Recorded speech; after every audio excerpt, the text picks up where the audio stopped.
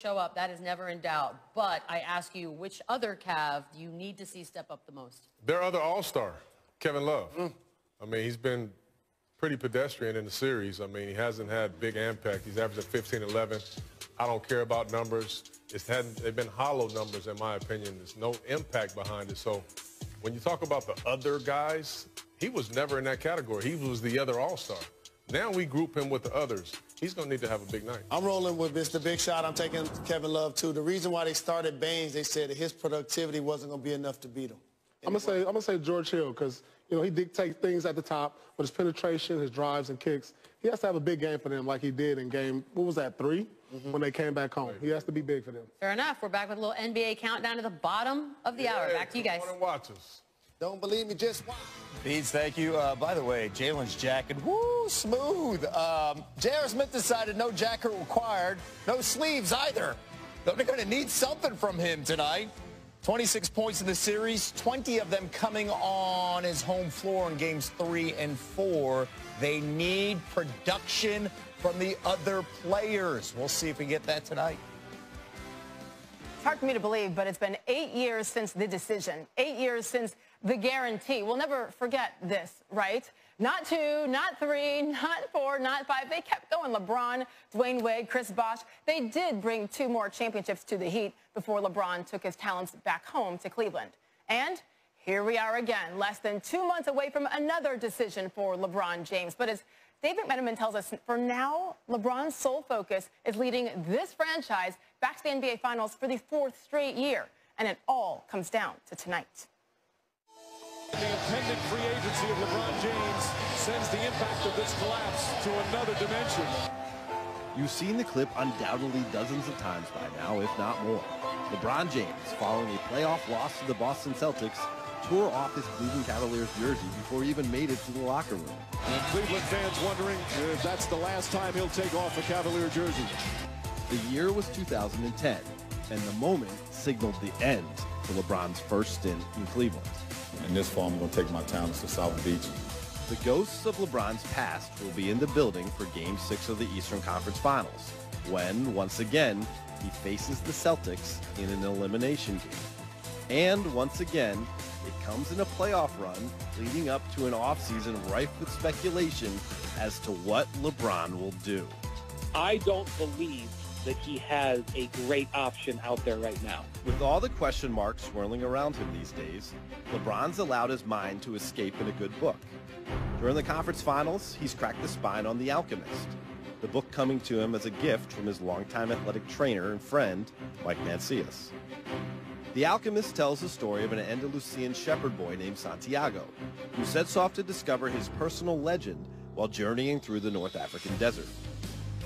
A line from the book, often cited for its inspirational message, reads, quote, When you want something, all the universe conspires in helping you to achieve it. What does LeBron want right now? Where is his head at facing another career crossroad against the Celtics? He told me after the Cavs Game 5 loss, quote, I like the challenge. If you put the challenge in front of my face, I'm going to go for it. Cleveland! This is for you! LeBron believes his personal legend is already secure. He's found his purpose. He has his family. He still loves the game of basketball all these years later. His journey has led him to here, in this moment, a player on the Cavaliers trying to win a game in Cleveland in front of his home fans on a Friday night.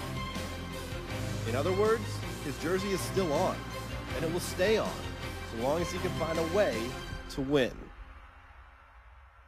Dave McMenamin reporting much more. Let's go to the Q. Rachel Nichols from The Jump joining us now live from Cleveland. And, and Rachel, you know, that's the LeBron side. Let's go to the other side. How much confidence do the Cavs have in their role players tonight? Well, at least they're home, right? So historically, that has been a good thing for them in this playoffs. It's funny, we had Richard Jefferson on the jump today. He was, of course, part of the Cavs team that won the title.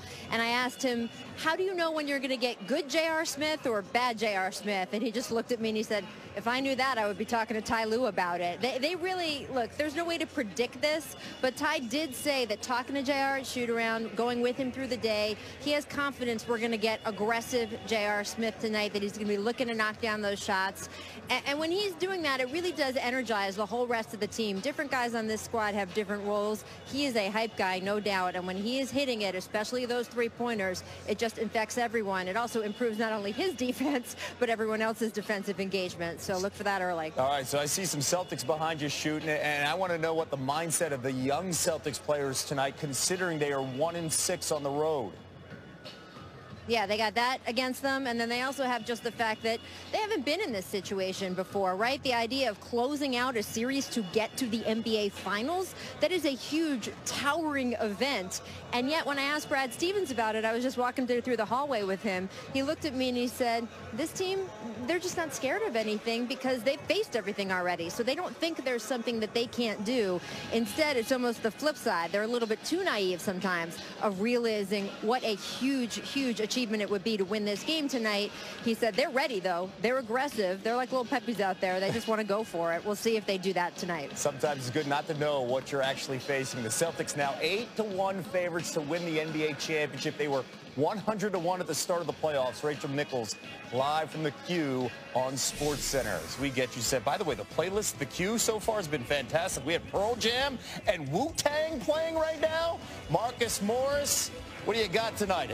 Held the Cavaliers to 3 of 10 shooting and 9 points in game 5. Is that defense ready to show out tonight? We'll find